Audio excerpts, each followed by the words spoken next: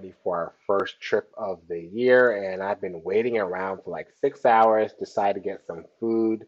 We are at Leo's Coney Island, and I went with the gyro omelet and had French toast for a side instead of the hash browns.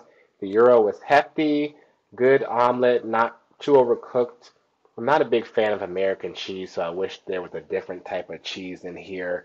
The French toast was nothing special, and that syrup was super thick and weird tasting. I'm not a fan at all.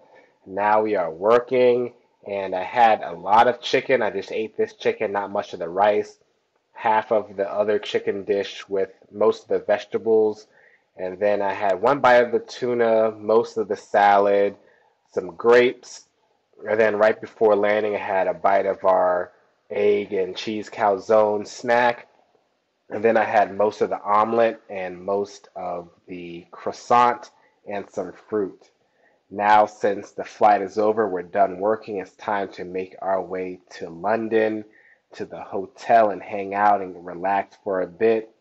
Got to see some Qantas airplanes, the A380 and I believe a 787. I usually sleep on the van ride from the airport to the hotel, but this time I just was staring at the window. I've been obsessed with urban design and like walkability and cities for the past like few years, for a while actually, but more in depth now. So I was just looking at the fabric of the city and bike lanes and bus lanes and whatnot. But once I got to the hotel, I passed out for like four hours. All right, let's go outside, even though I'm tired. Let's do it. Let's talk about the sponsor for this video. We appreciate the like button. The like button is the sponsor of this video. Just take a second and like that video. Definitely helps me out a lot trying to grow this channel out more for sure. I appreciate all my loyal uh, followers. Some people are comment on every single video. Shout out to William. Appreciate you watching all my videos. Love you, cousin. After taking a long nap and being on the phone, I'm gonna go out, do a little bit something, something. I don't have too big plans for here in London, but we're gonna go out for a little bit, you know. We're just gonna ease on into the traveling now. In a walk, so I decided to take a 10 minute bus ride. I don't mind walking. I walked back, but decided to take the bus to a fish and chip spot. When I got there, was a long line, and I realized that I went to the one that I didn't plan on going, and I didn't feel like waiting in line. So I went to a nearby food hall. I looked up food on the map and saw a jerk place. I'm like, okay, let's do some jerk or Caribbean food. So I was at this food hall actually that had a variety of places inside and it was kind of like a fancy department store it seemed like and it was very busy. I went ahead and got some curry goat from this place called Sweet Dee's Jerk.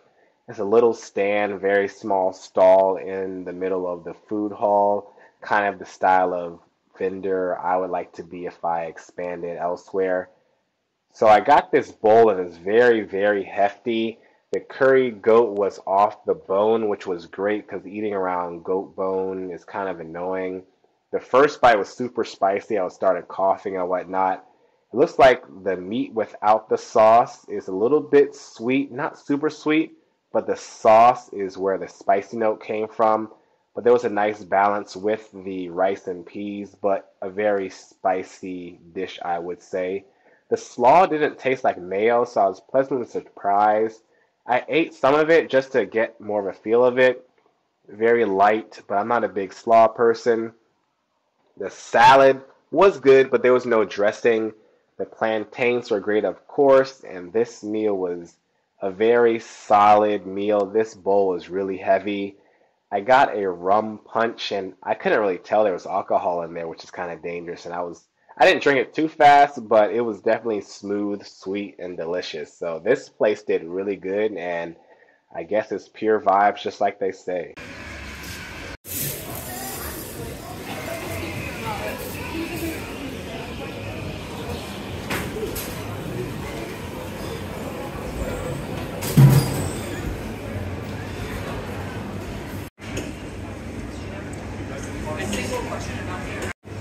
But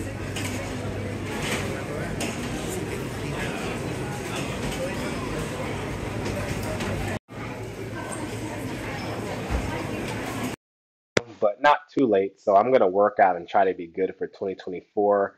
Like if you've seen my videos previously, you know I'm trying to do some speed training, so that's what I'm trying to continue now. Warming up, doing some drills, and trying to get my body ready to do some sprinting sometime in the next couple months. So this was my first workout of 2024.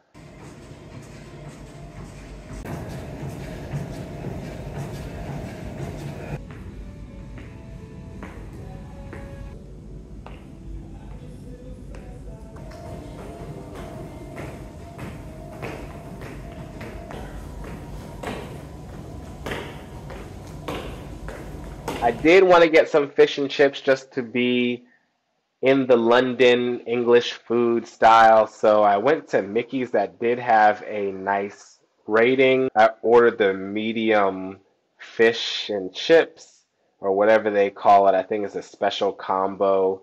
And it came out really fast and it was still really crispy and hot. It was like a perfect crunch around the meaty fish. I should have got curry sauce. I don't eat tartar sauce or whatnot, but they did have a curry sauce on the side, and that would have elevated this dish really well. The fries could have been cooked a tiny bit more or crispy a little bit more, but overall, this is a very solid fish and chips. It was probably better than the first original fish and chips I had over in England. The malt vinegar, salt and pepper, and lemon did elevate this Gonna get some tea and a little bit of snack before heading over to our flight back to the US.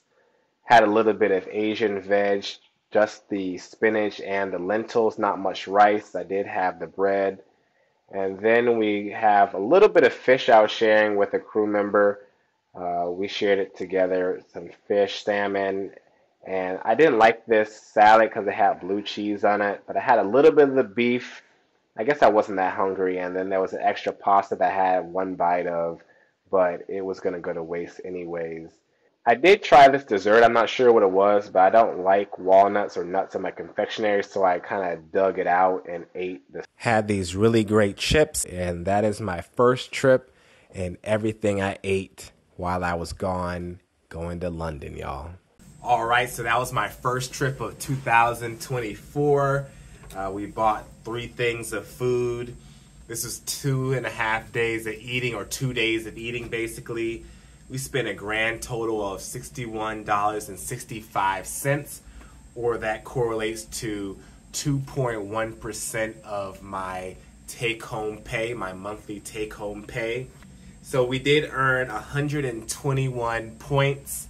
That's uh, Hyatt points and Chase points. That's going to be a value of $2.41 so we can subtract that so we spent like $59 or so but yeah that figure that I said so we spent 2.1% of my monthly take home pay was that worth it in the sense of each meal um, Leo's Coney Island I love omelets. I love gyro omelets. Uh, that was very solid. I just wanted to do more cheese or different cheese. So if it was a different cheese, that would have been fire. The French toast was not that great, but I would do this again and maybe see if they had a different cheese, so that was worth it.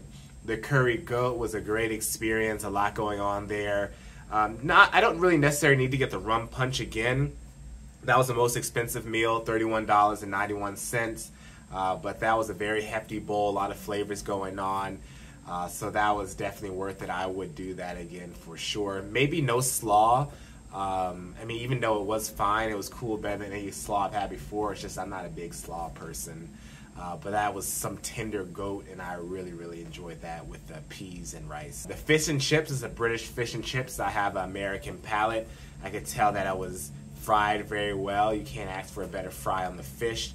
The chips could have been more crispy, but that might be the English style. Curry sauce would have been amazing for that. Uh, spent $15.24 on that. Um, I usually aren't a huge fan of British fish and chips, but like I said, uh, they did a good job frying this. But uh, maybe next time I go to England, I'll try another spot. But I definitely uh, recommend if you're around Micky's to go check them out. So 2.1% of my take home pay on this two days, if I correlate that to a whole month, that'd have been 31.5% of my take home pay on food. Is it worth it? Some of it was. Some of it wasn't, maybe not. That is our trip in review. Uh, full day eating. Expect more of these videos to come. Little breakdowns like this. Don't forget to like, comment, subscribe. Peace out, y'all.